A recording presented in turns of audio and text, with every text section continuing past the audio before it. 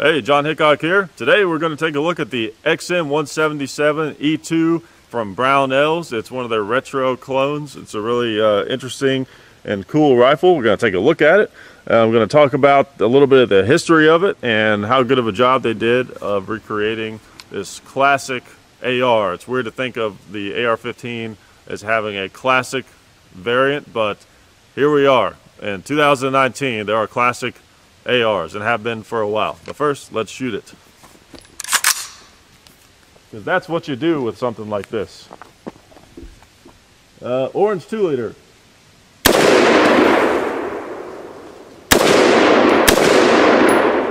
Bowling pin. Go ahead and get some of these pots. I'm gonna go ahead and shoot the target too, actually, before I forget.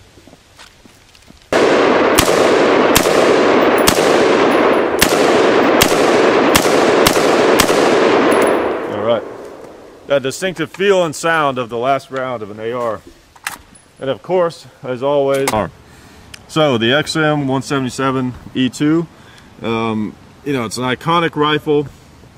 You know, it started life as a uh, arm for uh, special forces in Vietnam, SOG. Um, I think some of the early Navy SEALs.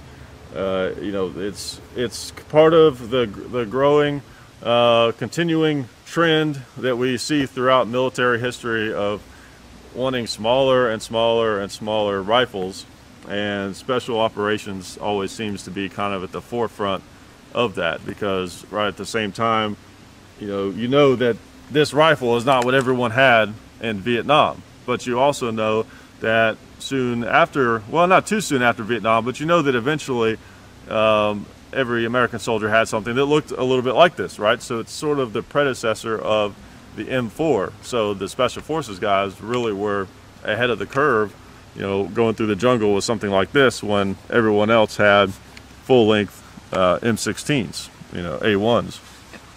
And then, of course, the A2s, which are still very long and, uh, and full rifles. So the idea of this was to have something shorter, lighter, compact, you know, for those guys going out doing reconnaissance or whatever, you know, secret ninja, you know, operator stuff that, that they were uh, that they were doing. Um, so that was a big aspect of this, and then also you have this uh, unique muzzle device that they put on the end of these things, and these kind of went into service, you know, kind of in the late '60s, the late 1960s. Um, but the point of this was a lot of people say it's just a big flash hider but from some of the reading I've done and, and what I've heard other people say, is that a big purpose of it was to re not re necessarily reduce the sound of the muzzle blast, but to change it so it didn't sound like an AR-15 being fired or an M16, um, because they have a very distinctive sound. If you're familiar with firearms and have heard them fired very much, you can pick one out uh, over an AK or some other type of rifle. They have a unique sound, I think largely because of the you know, just it's a high velocity cartridge, has a lot to do with it. But it was supposed to make it sound a little bit more like an AK, which is what you know the enemy at the time uh, was using. So that way, it wouldn't necessarily give away that there were um, American troops operating nearby. But one of the issues of this muzzle device was that it got very dirty um, and it was, you know, not very easy to clean and it would start to cause issues and malfunctions with the guns. And these these things were known for not being all that reliable which is why they didn't last that long. But you know as with a lot of things they were very iconic because of the time that they were used even though they weren't used very long. It was kind of the early days of what we think of of special operations. And there's again so many movies you know so that that's why this is a, a, a special and important gun even though it's not so relevant today. Now, before I get into uh, how good of a job Brownells did, we're going to talk about uh, and that's another uh, company that really helps us out a ton we, that we appreciate. They're actually running a, uh, they're a precious metals company, of course, and they are running a special right now on the, or, or going to be running a special on the Silver 2020 uh, Eagles and that's going to be going you know for about a month or something like that they're going to do some giveaways so go to apmex.com and uh, check out what all they have going on over there we appreciate them just like all of our supporters. Okay, let's shoot this a little bit more. And I've got some 20 round magazines, you know, just kind of gives it a good classic look, although they did have the, the 30s. I, th I think initially, um, you know, they, the 20 rounders were what they were issued. Uh, but I the 30 rounders I think came around pretty pretty quickly. I'm, I'm not super uh, clear on all those timelines with Vietnam. I know that you know there was a bunch of different uh, variants of the M16, you know, that came out, you know, the beginning of the war that had reliability issues, and that's like a whole other, you know, uh, can of worms that I'm not going to get into. But I know that the 20 rounders was what they started out with, and they went before they went to the 30s. Okay, let's uh, let's shoot some over on the hill. start with that big uh, red square up there on the left.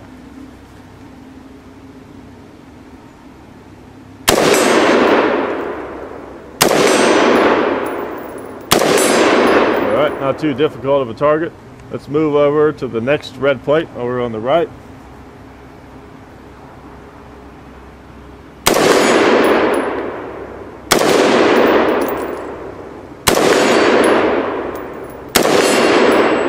Okay, now I'm going to move on over to those two little ones. Going to start with the smallest one, see if I can pop in. Alright. All right, let's move over to the right, very right.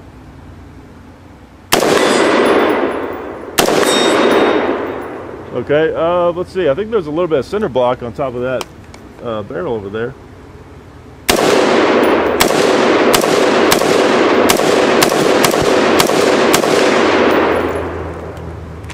All right, not a bad shooter. Now, that does bring me to something I want to point out before I get into the, the features. Um, we uh, we had to really work to get the sights on this thing. If you look over there, we basically maxed out the adjustments on this thing, which is fine, but I don't know, like I, I don't necessarily like to see that. You know, if you buy a new rifle or a handgun or whatever, and uh, has adjustable sights, and you have to basically max out the potential of the adjustment capabilities of those sights. Like that's not a great sign uh, it's not really what you want to see, but we did get the rifle, you know, relatively zeroed for this kind of range. So it shoots fine. That doesn't seem to be an issue. Okay, so what we've got over here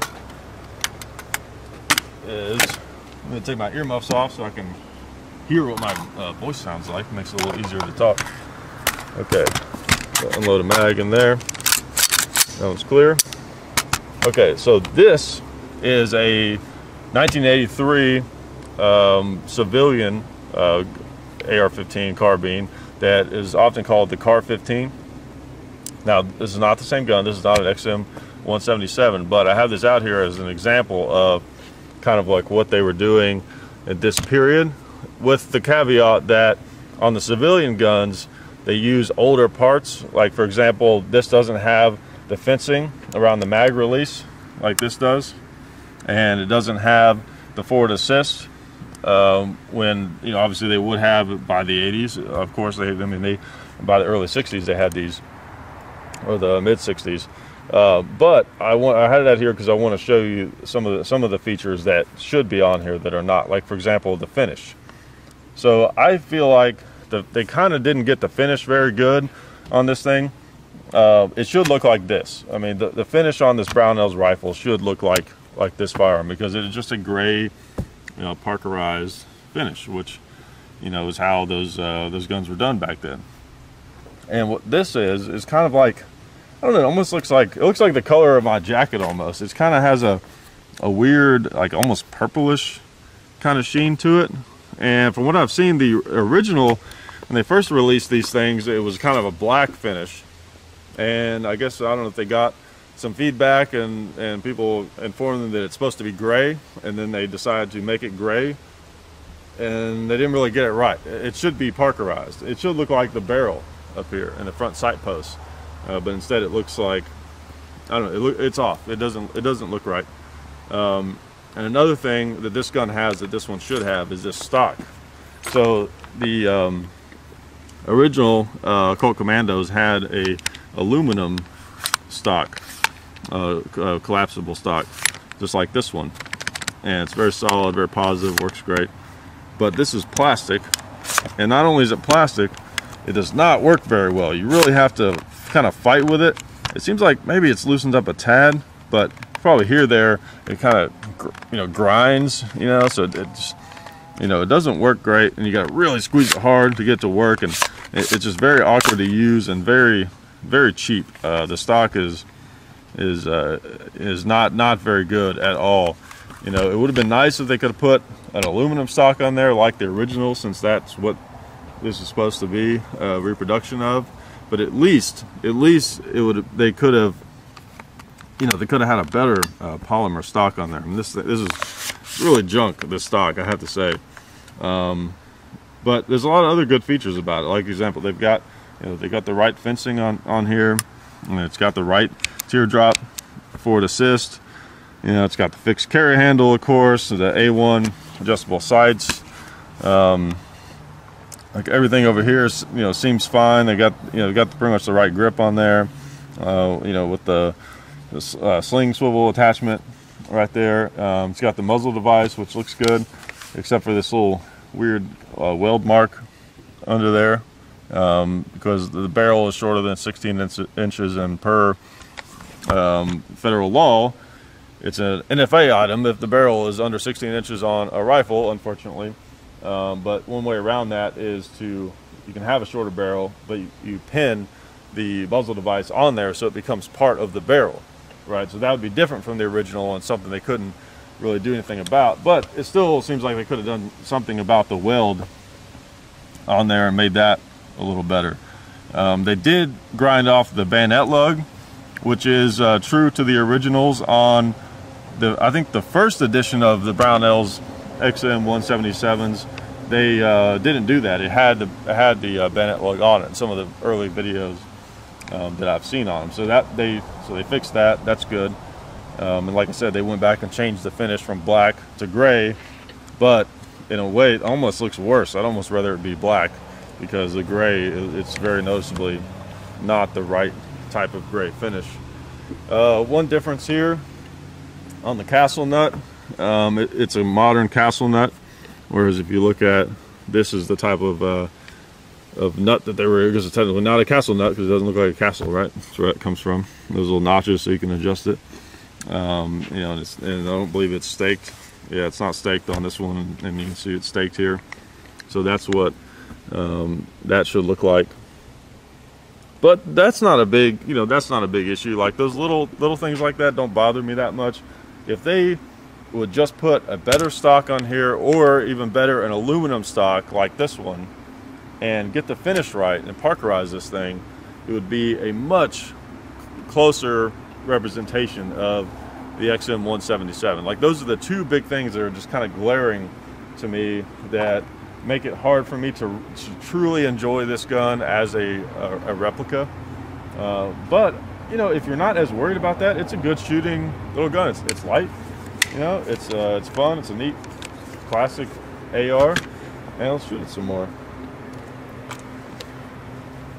And it's a reasonable price. I mean, that's one thing. you know, Colt does make a um, XM177 reproduction themselves. Uh, they did like a limited run of them and they're very expensive. They're like $2,500 where, you know, these can be had for like a thousand, you know, so there's a little bit of a, you get what you pay for, you know, kind of thing going on. Um, but I, you know, I still think at the price point of this rifle, they still could have gotten the finish right at least. Um, but it's like I said, it's, it's still a fun gun. I don't mean to, to completely trash it because you would enjoy this. You know, it's fun to shoot. All right, let's take out this pumpkin. Get here where I'm not going to hit the steel behind it.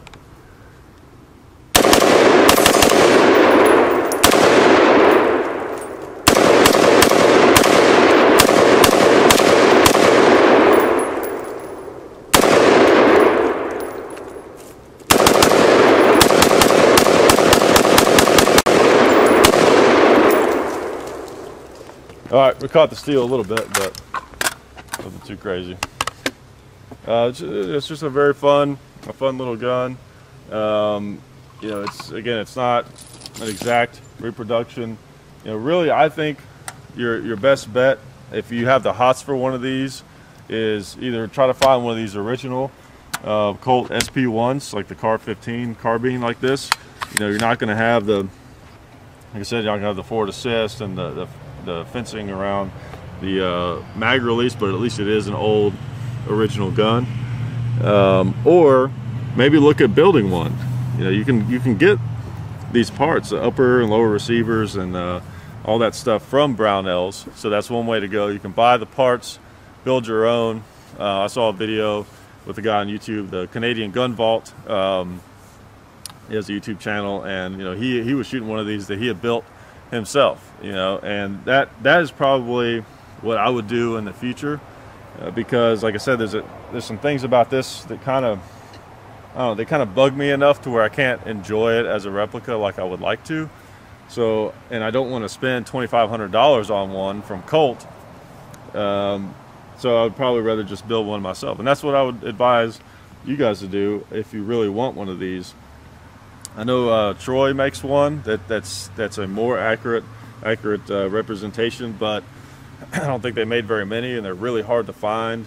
You know, so there's not a lot of, of great options out there. One advantage of these old SP1s is they will increase in value because there's a finite number of them.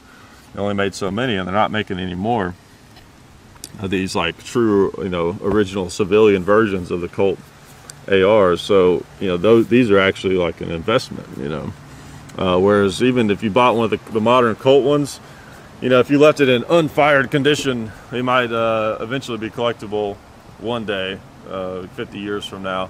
Um, you know, so you can't bank on that with those, but you know, it's a pretty neat gun. We'll shoot it one more time before I let you guys go. Oh, we got another mag over here. You got to shoot the classic metal mags. We got one of these.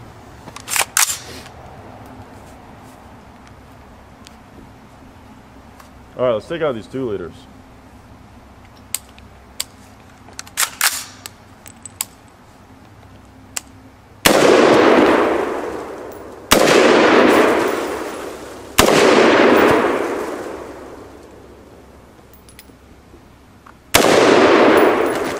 Oh, we got a water jug over here too. Yeah, came at me. Uh, let's see. Let's go back over on the other hill.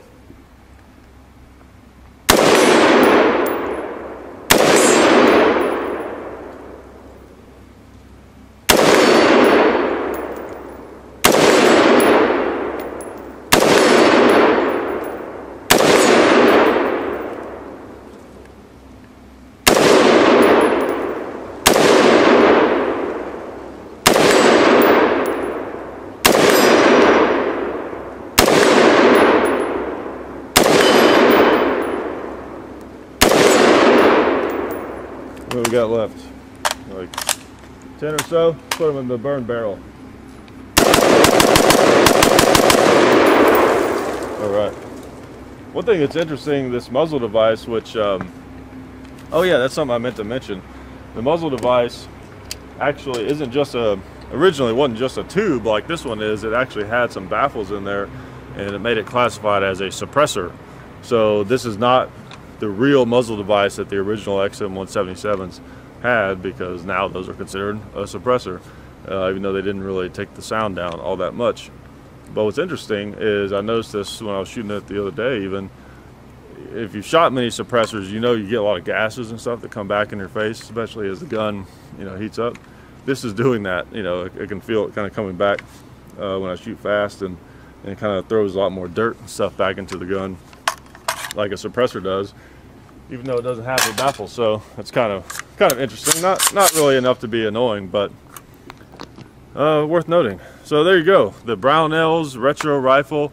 Um, I'm excited that they are making these. I think it's really neat. This is the only one I've really taken a look at so far, but you know, there's not really many other companies, you know, doing these retro rifles. So I really commend them for for for doing these and making making this line of of ARs.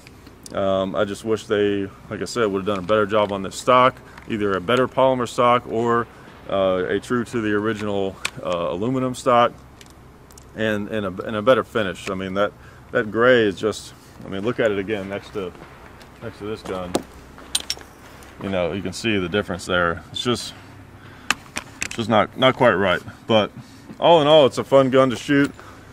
You know, a thousand bucks, not a crazy price, um, and these these things are neat. And you know, we a lot of us shooters love these things from Vietnam movies or Terminator 2 or what or whatever it is. So, anyways, uh, neat gun, worth looking at, and appreciate you guys for watching the video. And see you next time. Oh yeah, that's better. This is a great gun for defense. Oh hey, didn't see you guys there. Uh, while I've got you here, I want to remind you of our friends over at Talon Grips and Ballistol. Talon Grips makes uh, grips, can you believe it? Uh, for all different types of firearms. You can get rough texture or more of a rubberized texture. Uh, just sticks right on there. You know, really affordable, really cool option to improve the grip for your handguns um, or, or rifles. Uh, so please check them out at talongungrips.com. You'll be glad you did. And also Ballistol. Uh, Dad has been using Ballistol for many years. It's a cleaner and a lubricant, and it's non-toxic. Uh, it works really great, and we're happy to have them on board since it's been a part of our shooting endeavor for a very long time. So go to ballistol.com, talongungrips.com, and also while you're out there, I'm juggling all these things here. Also, uh, while you're on the internet, please do check out our other social media like Hickok45 on Facebook. There's also Hickok45 on Twitter the real Hickok45 on Instagram. There's a John underscore Hickok45 on Instagram where I do some things. There's Hickok45.com. Uh, you can find us also on Gunstreamer. So check out all that stuff and then watch more videos.